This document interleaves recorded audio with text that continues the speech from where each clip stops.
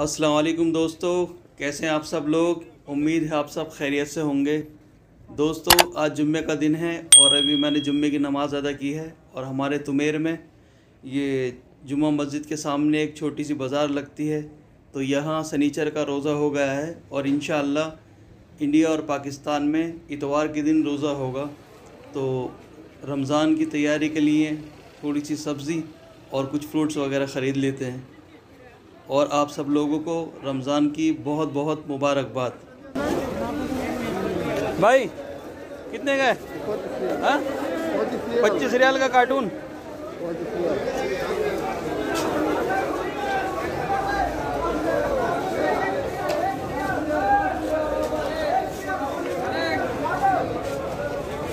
चल रहा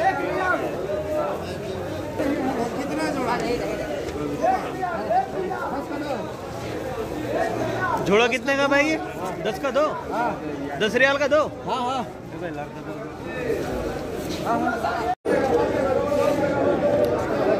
क्रेट कितने का भाई? देसी है? देसी अंडा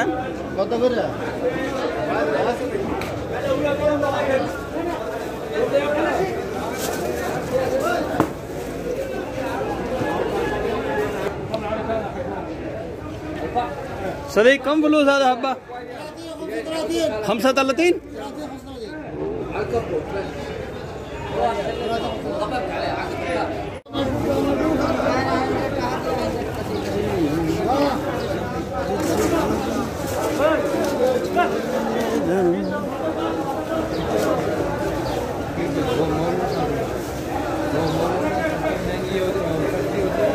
अच्छा दोस्तों तो मैंने रमज़ान की तैयारी के लिए कुछ सब्ज़ी और कुछ फ्रूट्स वगैरह ख़रीद लिए हैं। बाकी अभी दूसरी मार्केट में जाना है शाम में।